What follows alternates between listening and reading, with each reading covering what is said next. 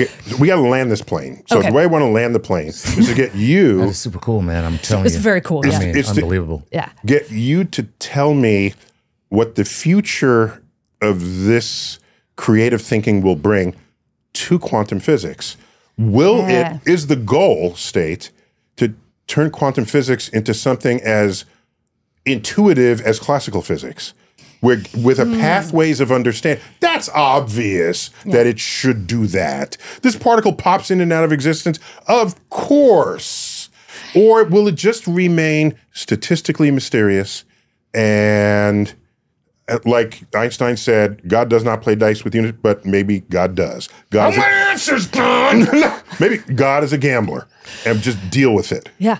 Uh, people have a different people have different questions about about that. So here's another like if you're a physicist who does quantum theory, uh, or you're you're an experimental quantum physicist, and you believe that it the universe is not statistical, then you're going to design tests that try to get beyond that. But if you think the world is ultimately indeterministic, then at some point you're going to move on. Yeah. Um, but I've already said I think this is just my guessing again from conversations I have with practicing physicists, but thinking about quantum mechanics is never going to be intuitive the way classical mechanics is because we as evolved creatures the way we are started doing science in terms of position and like with things we could see and measure and apples and arrows and We didn't evolve in a quantum state. no, right. in fact, you could very easily argue that knowing quantum theory is m- evolutionarily maladaptive because it's a bunch of nerds like myself sitting around doing problem sets, and here comes the saber-toothed tiger. So it's good for us oh, as you a would be summarily removed from the gene pool. yeah, Yes. I think so. Uh, yeah, I prefer Like it's, a it's, a, classical. it's a good thing for physicists. a classical understanding of the saber-toothed tiger So we wins built- every time. Yes. Okay. if that's the only thing that the audience takes away, that's a good one for those who live near saber-toothed tigers. Um, they're extinct, right? Yeah. Biology is not my area of expertise. Okay, But so- but I got, I got news for you. Uh, the regular tigers, uh, they don't make a Eat you too. difference. We'll They're, stick with the regular they're, they're good enough. They'll- we they'll- got sharks and things. It's all good. they'll eat you too. Plus the uh, they're on the list for be- becoming de-extincted. The Okay, saber-toothed the tigers. fact that we can do that now, so cool. um, so there's a way that quantum is never going to be intuitive to us the way it is, but that's why engaging with these philosophical questions, we're going back and asking. What are we doing when we do this test? When we do tests, are there loopholes in the logic of how we're doing this? Are there things we can be testing we haven't thought of yet? Um, are we using the word causality or space or time or background? Like, are we using these in a consistent way when we set up our experiments? Um, are we testing our assumptions? Like, um, these conversations, well, we're so wedded to the classical picture of things that And understanding it's not that- our fault. We of course evolved not. that It's way. Very natural, right? Um, but it also means that we have to do a lot of work to continue unmooring ourselves from that Ooh, I like that I phrase. love it. Unmooring. Yeah. So yeah. so okay, all hands on deck. Keep doing it. No, it makes sense. I mean, it's like you're what, what really it's kind of a you know an ossification that happens That's another really good word. you know because of uh, the practice uh, the practice itself Yeah. And then what you have to do now is to, in order that we can become more elastic this is where the philosophy comes in to help change the thinking altogether so that we can go in a different direction Right. And in the ideal world, there would be more cross pollination, but also the way we train physicists would be I mean, because there are a lot, there's lots of philosophy that doesn't really talk about physics or take physics as its input the way philosophy of physics does. You know, ethics, um, epistemology, um, social political philosophy. These are important areas of philosophy that leave Yeah, physics. ethical philosophy, religious philosophy, uh, even economic philosophy. Philosophy of law, Yeah, like yeah, yeah. philosophy of the emotions, like these things can stay pretty far. Space law. That's another frontier where they You need know, some I've- philosophers. I really, I, every Who time owns I the meet, moon? every time I, every time I meet a lawyer, I ask if they're a maritime lawyer because they're going to be the first ones who Oh. like develop. They're going to be the ones. Who, um, yeah, a good friend Has of your satellite crashed into another satellite? That's satellite? not the cat. no. Listen, we can get you what you deserve. That's not what we're talking about by space law. Actually, it's not far away. I mean, look there's a nearest trajectory between Earth and the Moon. Who's going to please? Is there going to be toll? Booths along that? Like, who's going to police? My brother is co-founder of of Karman Plus, which is an asteroid mining startup, and they're they have a lawyer As everyone's brother would be. Yes, Of we all, course, yeah, we all have and that. what they do is super cool. Um, but um, but what they're but they have to think about these questions like how do we do we tax stuff that you mine from asteroids? Who owns this stuff? Um, these are really important questions. So yes, um, but that physics training in the U.S. would involve some pausing and stepping back and looking at the history of the field and asking philosophical questions. Is like, there a country that's doing that now? And I we're, lag- we're lagging behind them. I think there are. Um, I, you know, I don't know at the university level, um, but when this was what was really exciting at Helgoland is I met a lot of young, like early career folks in physics at these great labs all over Europe, in China, and in South America, and some in the U.S. Although, to be honest, most of the labs in Europe are hoping to get some of our best scientists who are leaving. Mm-hmm, mm-hmm. Um, this is a real Phone thing. calls have been made. Yes. Um, we're mm-hmm. losing some of our top scholars. I wonder what's going on with that.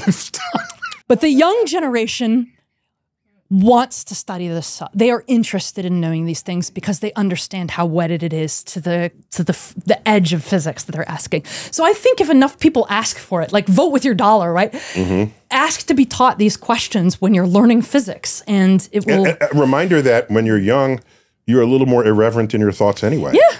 You're you're you're a little bit less like you haven't built a whole career in a particular groove, Right, so you can right, sort of right. hop over. All right. Yeah, yeah. Well, at least thanks for coming back. Fascinating. Thanks for inviting me. I, I, I I have a good time conversing with you guys. Okay, and, Yeah. and you're just up the street. I mean, you're That's true. Right up there. Uh, City College is up in 138th Street, Yeah.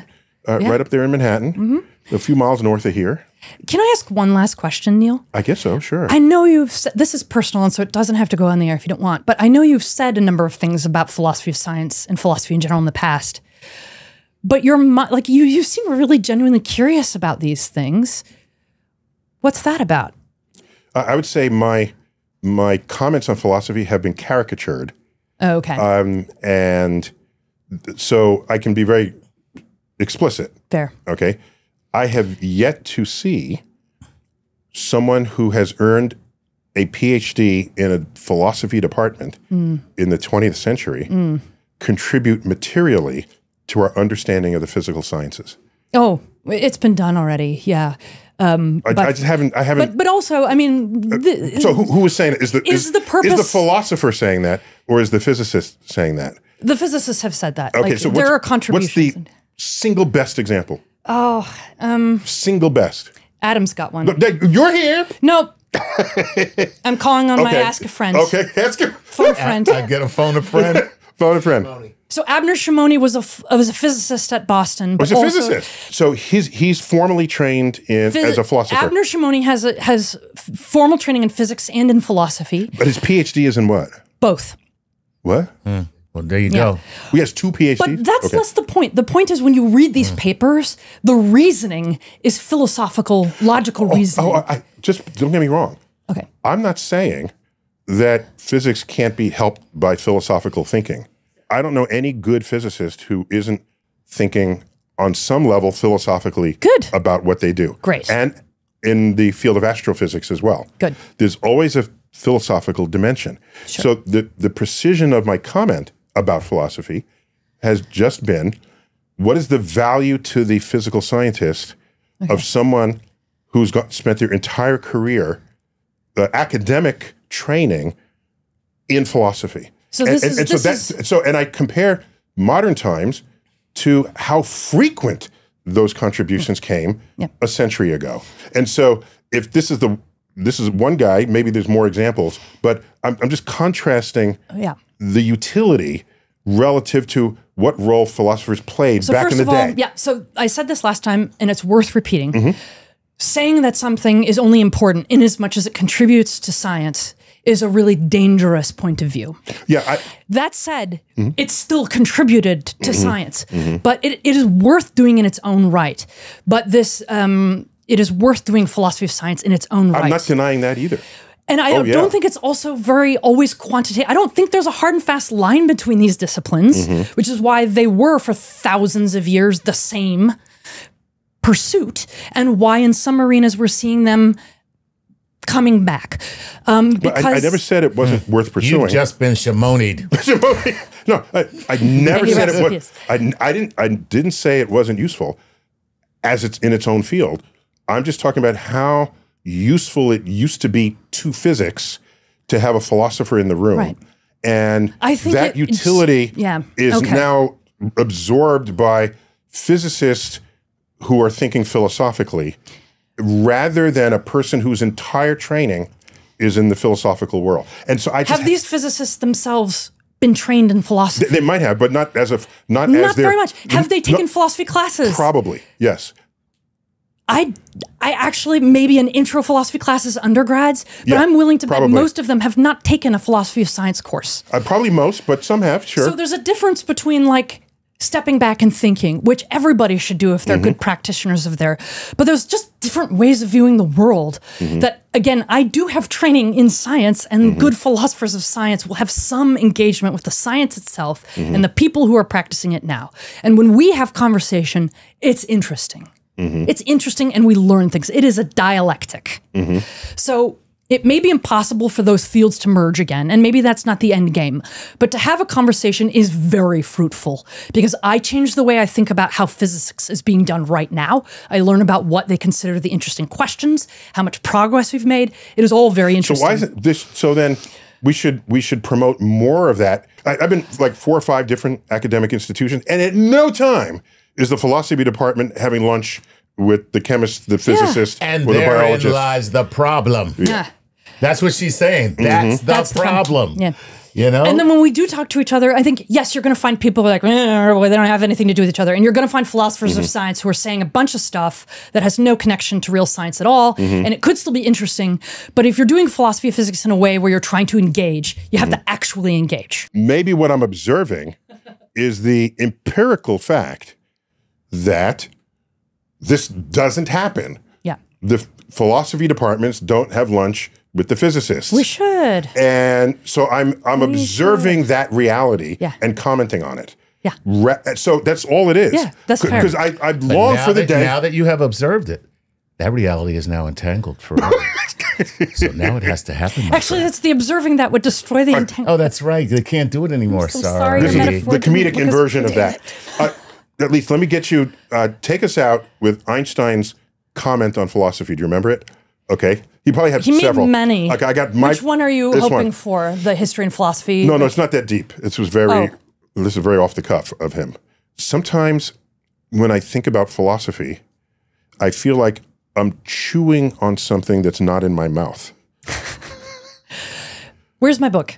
Hand me my book. Oh, okay, I want to read the quote. okay, One what- quote from Einstein that's a legit Okay, quote. thanks for reminding me that the Einstein Oh. paradox. This is an academic it's an academic ac- text. academic text. It does presume some uh, um, um, acquaintance with quantum physics, um, but just you know a, a scooch of quantum. Wow. the Einstein paradox, Okay. the debate of non-locality and incompleteness in 1935. The this originators is of the like theory- thesis type. This is very. That's like a title of a thesis right there. This is intricate work. Yeah. It is intense work. So this is Einstein writing in June to Schrodinger. Um, I'm trying to figure out what on earth quantum mechanics means. Dear Schrodinger, I was very pleased about your detailed letter dealing with our little paper. The actual difficulty lies in the fact that physics is a kind of metaphysics. Physics describes reality, he puts the scare quotes in, but we do not know what reality is. We know it only through our physical description.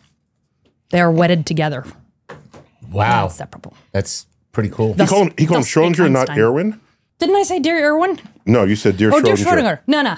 Just like buddies. Like if you're playing a sport, you don't say, hello there, Terrence.